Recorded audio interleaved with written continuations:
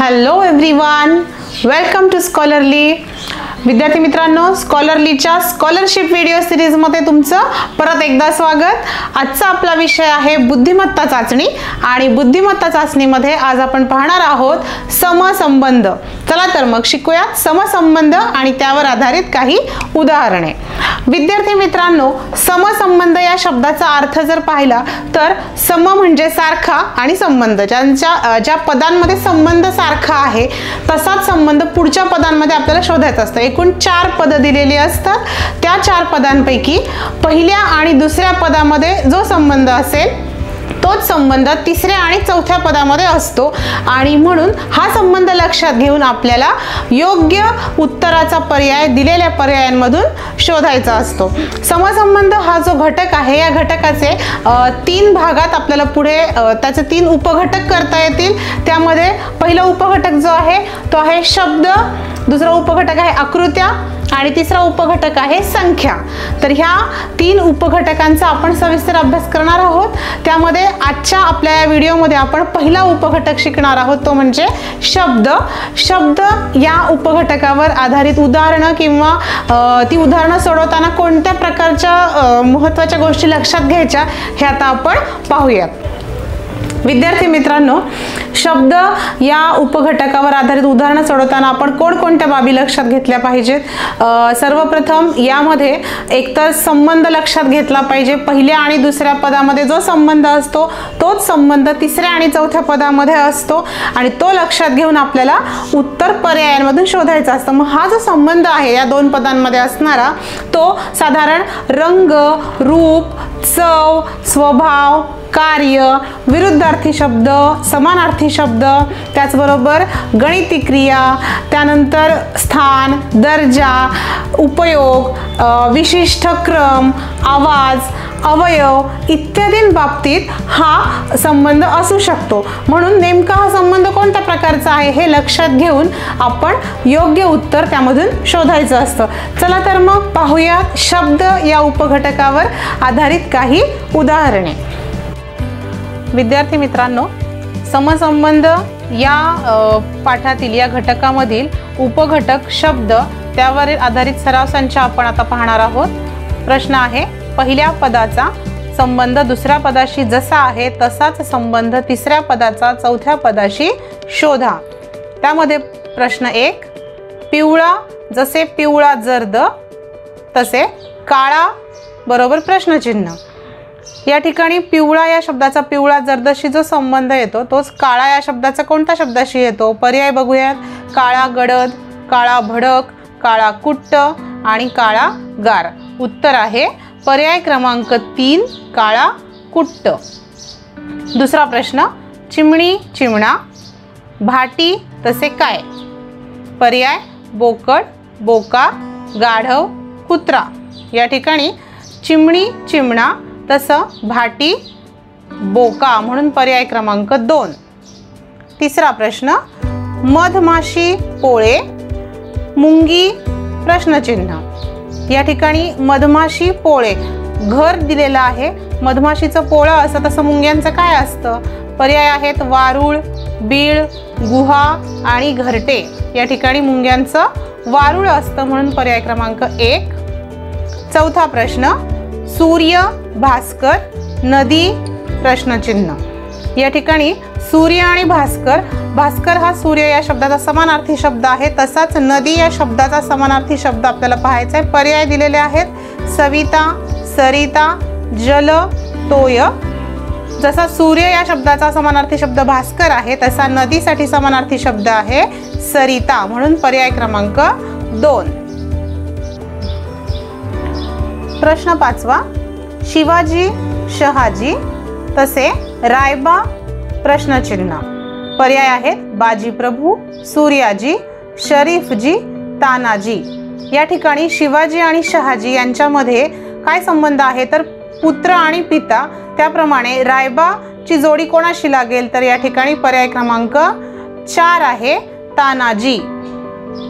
रायबा तानाजी. प्रश्न सहावा.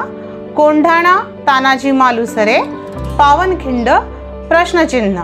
पर्याय आहेत प्रतापराव गुजर मदारी मेहतर बाजीप्रभू देशपांडे आणि चौथा पर्याय आहे जीवा महाला. कोंढाणा तानाजी मालुसरे तसं पावनखिंड याचा संबंध येतो बाजीप्रभू देशपांडे यांच्याशी. पर्याय क्रमांक तीन हे त्याचं उत्तर असेल. सातवा प्रश्न बाळ गंगाधर टिळक जसे लोकमान्य तसे वल्लभभाई पटेल प्रश्नचिन्ह. पर्याय आहेत नेताजी महात्मा सरदार पंडित. या ठिकाणी बाळ गंगाधर टिळक यांना लोकमान्य ही पदवी लोकांनी बहाल केली होती. तसं वल्लभभाई पटेल यांना कोणती पदवी दिली होती? तर पर्यायांपैकी पर्याय क्रमांक तीन जो आहे सरदार. सरदार त्यांना म्हटलं जायचं. सरदार वल्लभभाई पटेल म्हणून पर्याय क्रमांक तीन. आठवा प्रश्न. डॉक्टर इस्पितळ तसे शिक्षक प्रश्नचिन्ह. पर्याय आहेत घर मुख्याध्यापक शाळा विद्यार्थी. जसे डॉक्टर इस्पितळामध्ये असतात तसे शिक्षक शाळेमध्ये असतात. म्हणून पर्याय क्रमांक तीन शाळा. नववा प्रश्न चहा गाळणे पीठ प्रश्नचिन्ह. पर्याय आहेत चाळणे मळणे तिंबणे खाणे. चहा गाळणे म्हणतो आपण तशी पिठासाठी चाळणे ही क्रिया योग्य ठरेल. म्हणून पर्याय क्रमांक एक चाळणे. प्रश्न क्रमांक दहा पोपट रावा तसे अग्नी प्रश्नचिन्ह. पर्याय आहेत पवन राख अनल जल. पोपट आणि रावा हे एकमेकांचे समानार्थी शब्द आहेत. तसाच संबंध अग्नी या शब्दाचा कुठल्या शब्दाशी असेल? तर अग्निशी समानार्थी शब्द जो आहे पर्यायांमधून पर्याय क्रमांक तीन अनल हा आहे. म्हणून पर्याय क्रमांक तीन हे त्याचं उत्तर असेल. प्रश्न क्रमांक अकरा खानदेश अहिराणी तसे विदर्भ प्रश्नचिन्ह पर्याय आहे वऱ्हाडी कोकणी खानदेशी मालवणी. या ठिकाणी खानदेश अहिराणी ही भाषा खानदेशात बोलली जाते. तशी विदर्भामध्ये वऱ्हाडी ही भाषा बोलली जाते. म्हणून पर्याय क्रमांक एक. प्रश्न क्रमांक बारा. कोकरू नाम तसे खेळतो प्रश्नचिन्ह.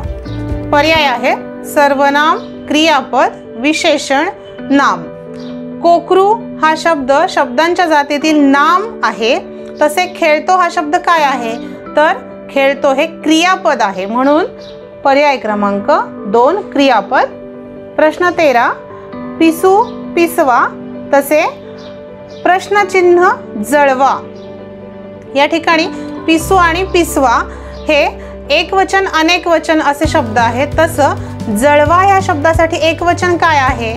पर्याय आहेत जळ जळा जळवू आणि जळू. पर्याय क्रमांक चार जळू जळू जळवा. प्रश्न क्रमांक चौदा. मेंदू नियंत्रण तसे हृदय प्रश्नचिन्ह पर्याय स्पर्श हालचाल रक्ताभिसरण श्वासोच्छवास. मेंदू आणि हृदय हे दोन्ही आपल्या शरीरातले अवयव आहेत. जसं मेंदूचं कार्य असतं नियंत्रण करणं तसं हृदयाचं काय काम आहे?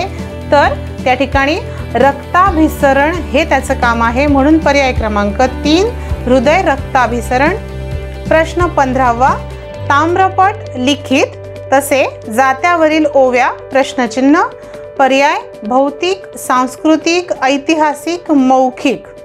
या ठिकाणी इतिहासाची जी काही साधनं आहेत त्या साधनांपैकी ही ताम्रपट आणि जात्यावरील ओव्या आहेत. तर लिखित साधनांमध्ये जसे ताम्रपट येतात तसे जात्यावरील ओव्या या मौखिक साधनात येतात. म्हणून पर्याय क्रमांक चार मौखिक हे त्याचं उत्तर असेल. शब्द या उपघटकावर आधारित काही उदाहरणं आपण आत्ता पाहिली. कशी वाटली? खूप सोपी होती हो की नाही? तर अशीच प्रॅक्टिस तुम्ही करत राहा आणि हा व्हिडिओ शब्द या घटकावरचा तुम्हाला कसा वाटला हे आम्हाला सांगायला अजिबात विसरू नका. नक्की कमेंट्स करा आणि जर कोणी अजून आमच्या चॅनलला सबस्क्राईब केलं नसेल तर आजच सबस्क्राईब करा. स्कॉलरली एनहान्स द लर्निंग या चॅनलला कारण स्कॉलरलीसोबत अभ्यास म्हणजे यश मिळेल हमखास.